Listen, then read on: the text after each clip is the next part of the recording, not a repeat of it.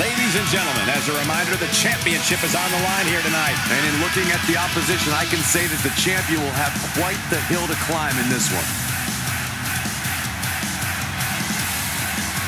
Every week, Ripley just gets more ruthless.